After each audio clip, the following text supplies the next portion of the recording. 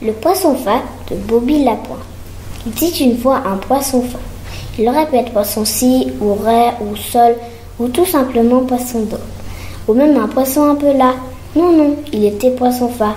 Un poisson fa, voilà. Il n'avait même pas de dièse et d'ailleurs s'en trouvait fortaise. C'est un truc, disait-il, à laisser à l'écart. Après, pour l'enlever, il vous faut un bécard. Et un bécard, c'est une chaise qui a un air penché et pas de pied derrière. Alors, très peu pour moi, autant m'asseoir par terre. Non, non, non, non, non, non, non, pas de dièse.